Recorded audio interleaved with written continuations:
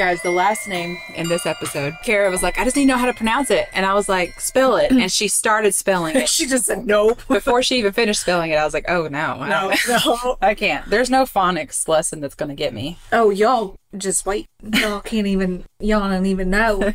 Hey, this is the Witches, Magic, Murder, and Mystery podcast. And I am Kara. And I am Megan. And I don't know how to pronounce any name in this episode except for his first. So, Sunny, great. Um, real quick, we wanted to give you guys a heads up that Yes. I have a big work thing coming up in June, and Kara has a lot of stuff going on, and we've Listen, never like really to take random trips. yeah, we've never really taken like a planned break. No. So we're just gonna take a couple weeks off. Uh, we are planning on releasing a few things, but we won't be recording anything new. And you'll still get your Patreon content. Yeah, if you're on the Patreon, don't worry. We're going to make sure you get your stuff. But the week of June 13th and the week of June 20th, no new episodes. So if you're sad about that and you want more stuff, you can I'm so always sorry. join the Patreon because right now there are 26 So many episodes. episodes I there. look at us. I know. And then I don't know how many videos. I guess however many months Oh, the man. podcast has been on Patreon. So there's that. You can also, if you've never watched our YouTube videos, go watch the YouTube videos. They are slightly different than what you hear here because we don't really edit them very much. Yeah. Um, hang out in the Facebook group, share stories with each other. We love you so much, but it We is going to be do. nice to have a little bit of a break. Yeah. Okay. So you guys, we are here today with A codcast. a Codcast episode from Um, Kara. Yeah. So I just named it The Imposter and Possibly Killer. The imposter and possibly killer. Mm-hmm. Mm, got it. Mm-hmm. Interesting. What's his name? Oh, I'm so glad you asked, Megan. He has multiple, uh, but his actual birth name, his given name, is Christopher Gerhardstreiter. Bless you. Exactly. okay, he is the son of a landscape painter and seamstress. He was raised in Germany and came to America as a teenager on a tourist visa in 1978. So in the 1980s, he's living in San Marino, California. He went by the name Christopher Mountbatten Chichester. Chichester. what? Say it again. Mount Batten. Okay, it's really pronounced Chichester, Why? Like you get to pick. but it looks like you get to pick a name.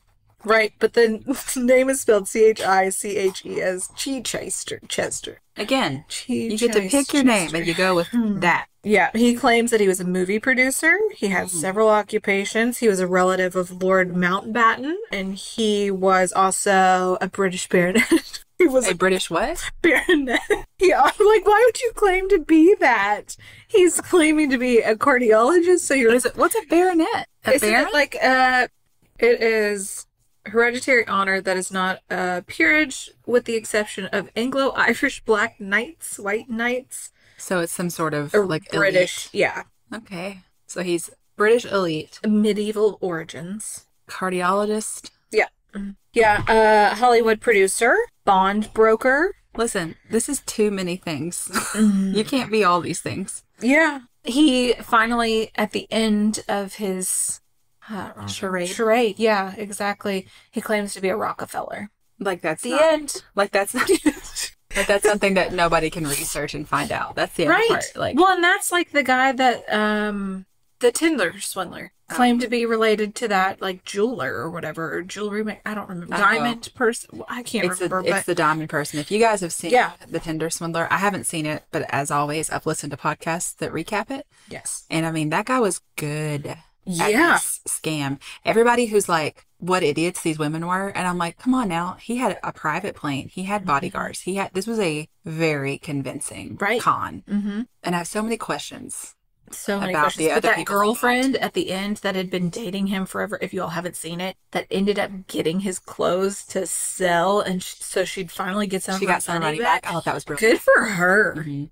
But what about the woman who got on the airplane with him and there was his baby mama and child? Who were those people? Yeah. Was she someone in on it? She had to she have been. wasn't she his legit baby mama but she was in on it I just, Mhm. I don't know. I don't know. I don't know. That's not Okay. today's story, but No, but that's another wild ride. Hmm. Okay, so when he was younger, he met a young man while he was hitchhiking on a train. The guy said to Chris, If you're ever in Connecticut, come stop by and maybe you can spend the night with us. And so in 1978, he met an American couple, Elmer and Jean Kellen. I think Elmer. Elmer. No. They were traveling through Germany. He decided he was going to use their names to obtain permission to enter the US, saying that he was going to go visit them, that they had invited him to stay with them in California. So from there, he made his way to Berlin, Connecticut, where he found a family, the Salvos. I I'm horrible with this.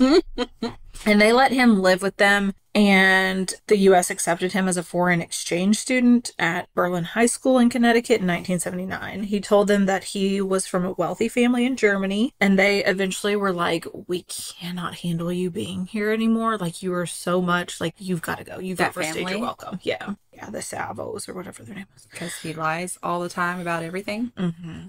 So then he was like, "Okay, well, where do I go from here?" Oh, oh, the guy I met on the train.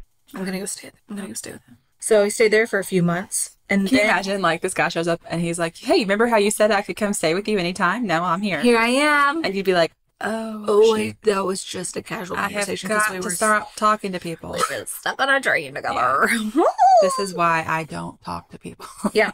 So then he finds a woman to marry him who lives in Wisconsin. Then from there, he headed to San Marino, which is a nice suburb in Los Angeles. And he just like wanted his green card, so he was just like up and left. oh, no. Yeah. So Christopher Mountbatten Chichester, Chichester, Chester. Chester.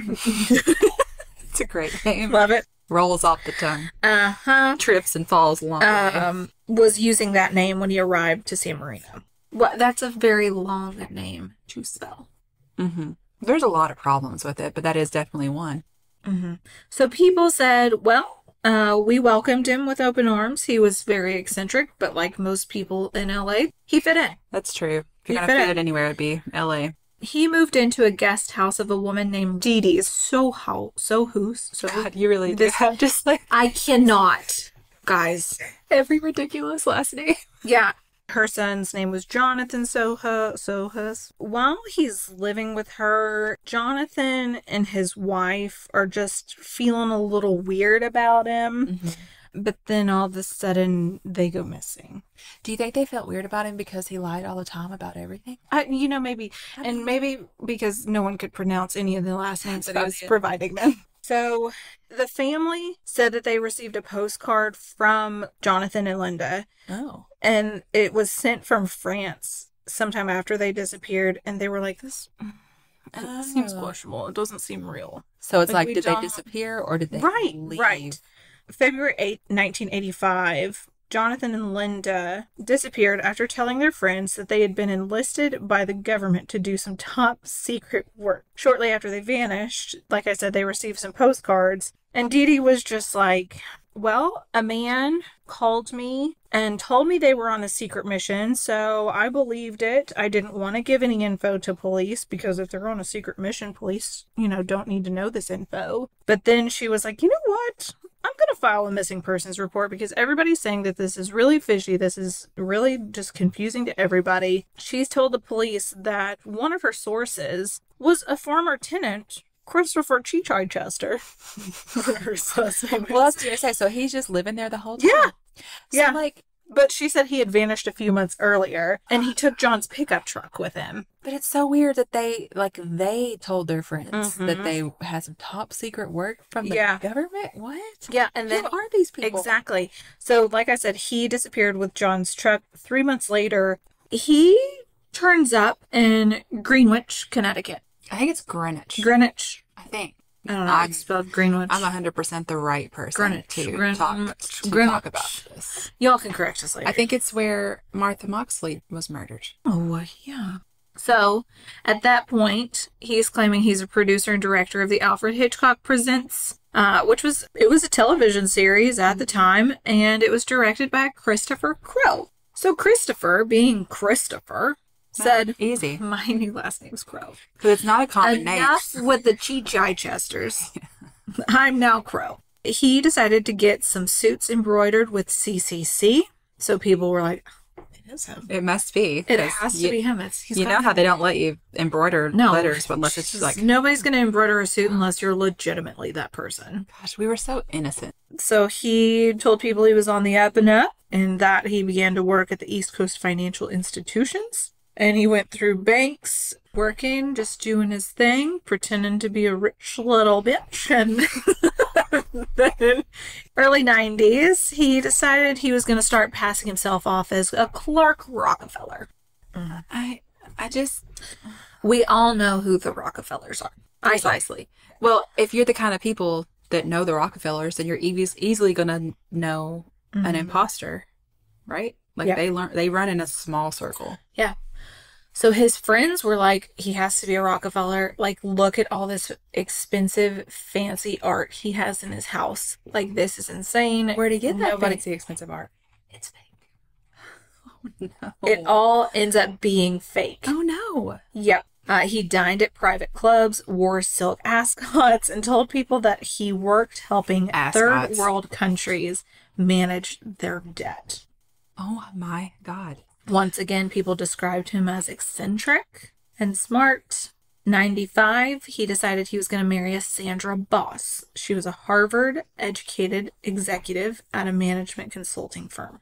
I just I mean I guess back then it was before it was before the internet. So Background you couldn't, checks. couldn't check things as easily and there wasn't everything wasn't all connected like There's it no now. Facebook And I guess also that there's five aliases. we just trusted people. Mm-hmm. It's kind of sad that we can't do that anymore. But also, uh, maybe Mr. we never could, you know, clearly. Yeah. Yeah. They moved to Boston. They purchased a multi million dollar townhouse and they were living in Cornish, New Hampshire. They New Hampshire? New Hampshire. Hamsters. Earlier, the coffee shop smelled like hamsters to me. I guess it was somebody's perfume, and I was like, Hmm. cedar chips. I got that hamster cage perfume. It's all the rage. It's the new Kardashian thing. Did you own hamsters when you were little? No, I had a guinea pig. They're bottom heavy, and Sophie, not Sophie, Aubrey used Back bottom. really make the record. Aubrey used to own guinea pigs, and we went through tons of them because she'd just be carrying them and they'd slide out of her hands. But my parents wouldn't have the just the nerve to tell her that they died because she dropped them, so they'd go get another one. Oh my god. Um, but hamsters get this thing called wet bottom disease, and their gosh. butts just. I'm I not, get on this. I'm not mature enough for this. We're talking about like New Hampshire, and we went to You- hamsters with you bottom said- diseases. I love this. Okay. They have a daughter named Reigh. Uh, she was born in 2001. Uh, he decided he was going to stay home to raise her while his wife, Sandra, Sandra, was going to go support the family with her job. She decided in 2007 she's going to file for divorce. She's like, this is ridiculous. She didn't know at this time also that this is not actually who he is. She still thinks that he's a Rockefeller. She just thought he sucked, basically. there was a settlement and she got custody of Reigh. They were married for a decade. Oh gosh. Um, and they just said, like the, the quote in this article is everything in this man's life was a lie. The only real thing in his life was his love of his daughter. When he lost his daughter in a bitter divorce, he began plotting how to get her back. oh no.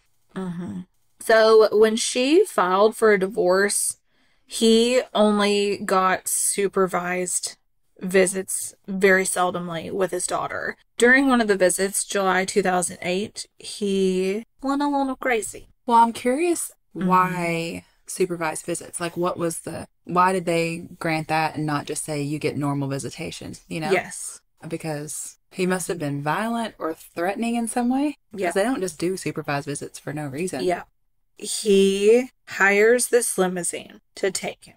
He gets to a limousine and he told the driver, his nickname for his daughter was Snooks, that he and Snooks had a lunch date in Newport, Rhode Island with a senator's son, and that he might need help getting rid of a clingy friend who was a court appointed social worker. Mm. But the The driver, driver didn't know that. no, had no clue. They just think, oh, Mr. Rockefeller Yeah. Wants has us to do paparazzi or something on his back. We've got to take care of him. Gosh. He was like, the clingy friend's going to try to climb into the limo. We can't let this happen. Like, this is just getting too much. So he assured Mr. Rockefeller that nobody would get into the car without his consent. Like I said, the limo was $3,000. So the guy thought, well, yeah, this is legit. So he looked in his rearview mirror, saw Mr. Rockefeller with Snooks on his shoulders and a guy right behind him. He's like, well, here we go. Rockefeller pushed the person away, set the little one down, pulled the car door open, and threw the kid in the car so fast that she hit her head on the door frame. And he screamed, Go, go, go. God. The driver stepped on the gas, obviously, and it drug the social worker who was holding onto the back handles several yards before they let go and fell to the pavement. Let's just take a moment to talk about how social workers do not get paid enough. Exactly. They're overworked. Their caseloads are Uh-huh. enormous. Yeah. And yet they go out there and they deal with people like this. Insane. Within minutes, according to Rockefeller's indictment, he told the driver to pull over. Then he hailed a cab and explained to the limo driver that he was going to take his daughter to the Massachusetts General Hospital. He wants to make sure that she's okay. She hit her head when he tossed her in. He's a little concerned about it. He's got to confirm that she's going to be okay before they go anywhere. He's like, just pull over. We'll be right back in a little bit. Just wait for us. Never came back. So a cab driver agreed to drive him to New York. Or no, not a cab driver. He took a taxi to Boston Sailing Center. Then from there, not a cab driver, his, one of his female friends was waiting for him. She is the one who agreed to drive him to New York in her white Lexus for $500. He was like, hurry, the little one has to catch a train that would get them to a boat launch on Long Island by 8 p.m. Oh my gosh. So she's like, oh gosh, yeah, like she's got to get back to her mom. You only have short visits with her. Sure, totally sounds good. How scary it would have to be for the mom. After they arrived in Manhattan, they got stuck in traffic, and quickly he just scooped up his kid, threw an envelope full of cash onto the front seat, and just ran off with the, his daughter. The woman's cell phone rang. It was a friend asking if she had seen the Amber Alert concerning Clark Rockefeller's abduction of his daughter. Oh and she realized she was tricked into was giving helping- him. now she's helping? exactly. Yeah, she realized that, oh shoot, like this is going to be, like I could be in a lot of trouble. I'm an like, is accessory to a felony here. Uh huh. So he, with all of that, I mean, custodial kidnapping, he's also charged with assault and battery by means of a deadly weapon, uh, which was the limo, um, assault and battery, false names, everything to the Oh, police. against the social worker? Yeah. Back in Boston, ex wife, uh, Sandra, was just freaking out, trying to give police all the information. They said, okay, well, can you give us his driver's license number? She said he didn't have one. Okay, do you know if he has a social security number? Nope. Oh my God. You Has he no way to ever been him. on your tax returns? No. Because she was the She one worked, working. and he's a Rockefeller. Yep. She said all of the credit cards were on my account. His cell phone number is actually, for some reason, under a friend. And every time the investigators would ask her a question about him, she wouldn't know the answer. She had no clue about his identity. She just thought he was a Rockefeller. I will marry you because what I else love you matters? because money. Which the money wasn't even real. So 24 hours Well, after. she's the one that worked all the time. Yes. To support him. So Yeah. it couldn't really be that unless it was just exciting to have the name. Right. So 24 hours after his disappearance, Special Agent Noreen Gleason, who is a 17 year veteran of the FBI, she was assigned to the Boston field office. Her first call to the Rockefeller family, she said, they said, under no circumstance is there a link. We are not connected. I like that was her first call. Like, Yeah. Nobody else had done that yet. Yeah. She's like, just one minute. I gotta- Guys, give me a I'm second. just gonna make this phone call. Just, I gotta pull a couple Listen, strings here. Do you y'all know Clark? Okay. Yeah. Plenty other people had heard of him. Uh, for five days, Gleason and the battalion of the FBI agents and police officers in the United States and abroad were taken for a ride. Like the limo driver, he tricked all of them, all the authorities. They said we would start going down one avenue, one lead, and we would get to the end of it, and there'd be nothing there. I think Yeah. when you are dealing with someone who lies on this level, Yeah. it's like you almost reach a point where you're like, nobody would lie to Mhm. this degree. Mm-hmm. Nobody would carry off some big, huge. Yeah, extravagant, Right. ploy to like to I don't. They said that he had a crazy obsession with. Oh man, is- Hamsters. Mhm, exactly. What is exactly what is that show where they're stranded on an island? Gilligan's Island. Uh huh. And he was obsessed with what was his name, Thurston something something something, the wealthy man. Uh, Like had a wild obsession with that. Really? Mm-hmm. Hey, guess how they found out who he really is? How? A wine glass. What do you mean? So he, the night before he took off with his daughter, he had a glass of wine at his friend's house. When the investigators arrived there the next day, the friend hadn't washed the glass, so they got his fingerprints off of it. They sent it. fingerprinted? Yep, they sent it to Quantico in Virginia. Wow. Yep. So who was he? Uh, Oh, we already know. You yeah, already well, told me. he, not Chichester. Uh, your heist, Meister, Chris Meister. Mm-hmm. No, mm-hmm. that sounds right. You're Yeah. doing great. Yeah. So while they're waiting for Quantico to process those prints, they put pictures and all things all over the media for people to look and see if they recognize this man. And people call him and be like, I know him as so and so. I know him as so and so. I know him as so and so. I know this man as so and Wouldn't it so. be weird, especially if like you're someone who was close enough with him that he was at your house the night before having wine, Yes. to realize that like everything you knew about him was a lie? Right. Well, like one person even called in and was like, "Yeah, that's my friend. He's British royalty." Oh my Mm-hmm. When results came back from the from Quantico, they were like, "Well, he's not a Rockefeller. He's Christian Karl Gerhard Strace Smeister Smeister." god. A, exactly, a 47 year old German immigrant who had come to America as a student in the eight or 1788 or seven. Wow, 1978. and he's a vampire. Christ. So So he was apprehended in 2008 where's his daughter? with him. Okay. So she is safe and fine. 2008. Mm-hmm. When did he take her? July 2008 is when he had that visit with her. Okay. So it didn't take a really long time for them to find her. Right. So the way that he was found, they said investigators got a break. A real estate agent in Baltimore recognized Rockefeller's picture, called the FBI, said it was resembling a man who was on a wanted poster for $432,000. He said the man previously had paid him with a cashier's check. It was Chip Smith and his daughter Muffy. He said he was a single parent and a ship captain, and he was re- relocating from Chile team of investigators surrounded the house. They knew that he was a night owl, and when they noticed that the TV and everything wasn't on, the computer's not on, there are like those fake art prints up against windows and stuff. They're like, oh man, um, this isn't going to be good. Like, we don't know that he's there. They previously discovered his yacht, a rundown 26 foot stiletto catamaran. I don't know boats. I had one of those ones. I bet you did. But I'm really sad I I didn't know. get to experience that. I know a lot about yachts. Yeah, yeah, yeah. The um, detective said they he kept it docked in Baltimore Marina, two miles away. So they're like, we're gonna go there. So they said they saw a file labeled Chip Smith and the plans for a new identity that he was setting up. So they knew uh, this is the guy. So they got the manager of the marina to call Rockefeller on his cell phone and say that his boat was taking on water. And he said, I'll be there. When he got there, an agent in plain clothes said, Hey, Clark, where are you going, Clark? He said, I'm going to go get a turkey sandwich with his daughter. then they went back to Boston, and everybody's like, Who the hell is this man? So, yeah, that's how they caught him. People were talking in like before he went to trial or like while he was like in waiting or whatever. They're like he never carried money. He was always like super paranoid about security clearance, like all these things. Like he was a Rockefeller. He was just terrified people were gonna come after him, so he was just super cautious. And the police were like, "No, babe, No, that's not, not, it. That's this not it at all. not it at all." Wouldn't it be wild to find out like this man you were married to for 10 years and had a child with, Mm-hmm. you literally know nothing about him? Yeah, it's just insane. Then things start popping up. So this quote says, "Now we're thinking that we're dealing with a person who might have committed two homicides as well." Mm.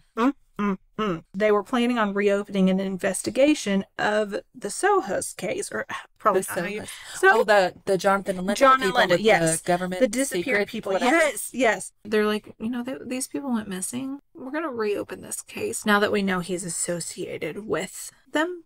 Oh no. Yeah. They're just like, well, we're going to sentence him to four to five years in a state prison for the kidnapping charge. And while he's there for that, we're going to look into some other stuff. Mhm. So, police report that evidence found confirms that a skeleton found in the backyard of the house was actually John. In the backyard of like Dee Dee's house? I believe so. Dee Dee was yeah, the the mom. lady like, wow. Yeah. And unfortunately, Dee Dee passed sad. away not knowing what happened to her son. March 2011, he was charged with John Sohus's murder. John's truck ends up in Connecticut when a man named Christopher Crowe was selling it to a minister's son. So, Christopher. so Crowe. police found out that Christopher Crowe was not Christopher Crowe. Mhm. They're like, "Well, Mr. Son, you got duped. Mr. Son. Mr. Yeah. Son, you got duped, and this isn't your car." So on April 10th, 2013, Gerhard Schreiber was convicted by a Los Angeles jury of first degree murder for John, but they couldn't find Linda, so they they couldn't convict him of that murder, but they do believe that Linda's dead. Oh my gosh. Oh my gosh. And he was sentenced to 27 years to life in prison. Mm. Yeah. Wow. Yeah. Two defense experts testified that they have diagnosed him with a delusional disorder and narcissistic personality disorder. One of the experts, Dr. Keith Ablow, testified that Chris told him that his father had been emotionally abusive during his childhood. Another doctor, James Chu, a psychiatrist for the prosecution, testified that he had diagnosed Chris with a mixed personality disorder with narcissistic and antisocial traits but he felt he had exaggerated his symptoms of mental illness and was capable of knowing right from wrong. And he even like said that he had planned all these details of the abduction. So he was just like, He clearly has. take this with a grain of salt. Yeah, Yeah. like take my diagnosis with a grain of salt. This man knows what he's doing. I just can't imagine the kind of stress it would have to be to live like that. Yeah. Keeping up with all of those wild personalities. I mean, you're just moving from one day to the and next, basically. And all these wives. Also, like, you're getting married and you're like, I'm going to change my last name. I'm a Rockefeller. no, but you're not. No. Ooh. But yeah, like you're not building any life that you're gonna like grow. Right. So it really is. It's just like that movie. What's that Leonardo DiCaprio movie? Catch Me If You Can. Yes. Where it's like you're just going from one identity to the next. Oh my For- god. And that's another that's your- another real story. That's a good one. Frank Abernathy. Yeah. Yeah. Mhm. And it's just like, why? Why? What are you doing? Yeah. This is just how you're gonna live Right. You had such a with weird nothing real ever. childhood with your dad being the way that he was that you created this scenario in your head so you become a doctor, you become well, if that's even true about his you're right. dad. Right. I mean, yeah. who knows? Exactly. Hmm. Cheat Chester. It's a good name. It's a good name. Yeah. Gerhard Streismeister. Thank you. Yeah. Thank you for telling that story You're so welcome. with all those names. You'll have so much fun with those. I can't wait for people to write in and be like, actually, it's this. This is uh, it's actually pronounced Smith. Yeah. Oh, okay. Great. Yeah. I'm All gonna- those other letters are silent. I'm to keep saying this, though. You're all welcome. So we'll have episodes next week Uh huh. and then nothing new for two weeks. So just be ready. Yeah. In the meantime, check out the podcast store. There's lots of new merch. Yes. Join the Patreon. You get all those back. You get instant access to everything that's been posted Right. Up to that point. Plus, we'll be doing As well as going Patreon forward. feeds too. yeah, the Patreon, you guys are still going to get We'll make sure everything that you pay for. Don't worry. Yeah. All right. We love you. So much. Goodbye. Bye.